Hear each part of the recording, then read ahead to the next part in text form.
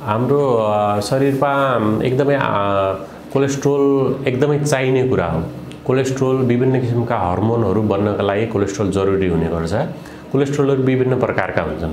त्यसमध्ये एक किसिमको कोलेस्ट्रोल जसलाई हामी एचडिएल भन्छौँ त्यो भनेको राम्रो कोलेस्ट्रोल हो। त्यसको मात्रा जति बढी भयो त्यति राम्रो हुन्छ। त्यस्तै दुई अरू दुई किसिमका कोलेस्ट्रोलहरू विशेष गरी लो डेन्सिटी कोलेस्ट्रोल जसलाई हामी एलडिएल भन्छौँ र ट्राइग्लिसराइडहरू यीहरू चाहिँ धेरै बढी भयो भने चाहिँ त्यसले शरीरमा विभिन्न किसिमका असरहरू निम्ति आउँछ कोलेस्ट्रोलहरू बढ्ने कारण धेरै छन्। त्यसमध्ये अब एउटा चाहिँ जन्मजात किसिमको वंशानुगत रूपमा नै कोलेस्ट्रोल एकदमै बढी हुने समस्या हुन्छ। त्यसका लागि हामीले जसको एउटा फ्यामिली ब्याकग्राउन्ड पहिलेदेखि कुनै आफ्नो पूर्वजहरूमा अचानक मुटु बन्द भएको अचानक हृदयघात भएको कम उमेरमा हृदयघात भएको सानो उमेरमै एकदमै प्रेसर धेरै बढी भएको त्यस्तो कुनै आफ्नो पूर्वजमा त्यस्तो अवस्था थियो भनेपछि समयमै आफ्नो कोलेस्ट्रोल जचाइराख्नुपर्छ किन भन्दाखेरि वंशानुगत रूपमा त्यसरी कोलेस्ट्रोल बढी हुने समस्या रहेछ भने त्यसले गर्दाखेरि त्यस्तो खतराहरू निम्त्याएको हुनसक्छ। एउटा कारण वंशानुगत भयो। त्यस्तै गरी अर्को कारण भनेको खानपिन नै हो।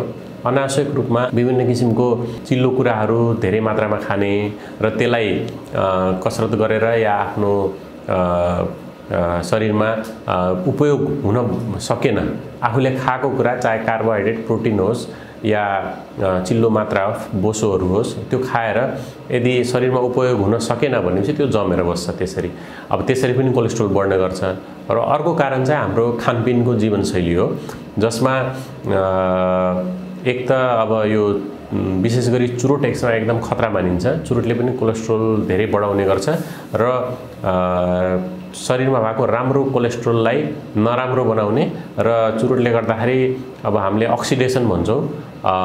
त्यसले गर्दाखेरि त्यो कोलेस्ट्रोललाई नराम्रो किसिमको कोलेस्ट्रोल बनाउने त्यसपछि रगतको नसामा जम्मा भएको कोलेस्ट्रोललाई एक किसिमको हामीले एथ्रो इम्बोलाई भन्छौँ एथ्रोस्क्लोरोसिस। त्यो भनेको कस्तो हो भन्दाखेरि हार्ट एट्याक हुन सहयोग हुने पूर्व स्थिति हो। हो त्यो स्थिति बढाउनलाई चुरोट धेरै खतरा भएको हुनाले चुरोट लगायत मद्यपानले पनि कोलेस्ट्रोललाई बढाउने हुन्छ।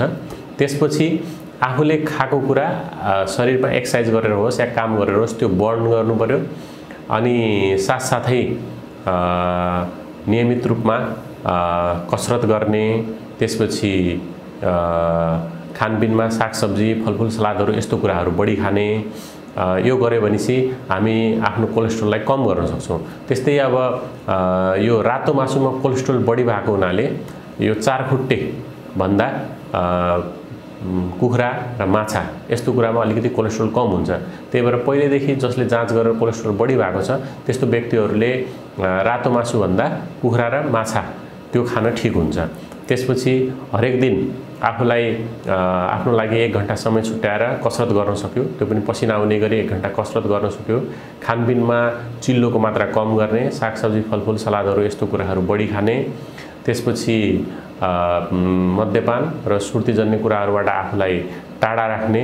गऱ्यो भने चाहिँ हामी कोलेस्ट्रोल जन्य रोगहरूबाट सहजै बच्न सक्छौँ।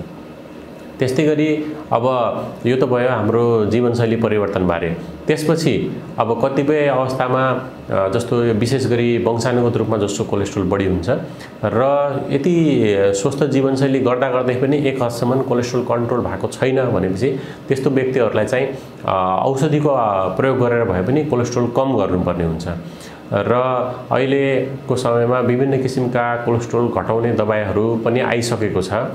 त्यो भएको हुनाले कोलेस्ट्रोलको मात्रा के कति छ राम्रो कोलेस्ट्रोलको मात्रा जुन हामी एचडिएल भन्यौँ अनि विशेष गरी एकदमै नराम्रो कोलेस्ट्रोल भनेको एलडिएल त्यो कोलेस्ट्रोलको मात्रा जाँच गरेर चिकित्सकको सल्लाह बमोजिम हामीले आफ्नो जीवनशैली परिवर्तन लगायत औषधिहरूको प्रयोग गरेर सहजै कोलेस्ट्रोल पनि कम गर्न सक्छौँ र कोलेस्ट्रोल बढेसँगै हुने हृदयघात जस्ता समस्याहरूबाट पनि आफूलाई बचाउन सक्छौँ।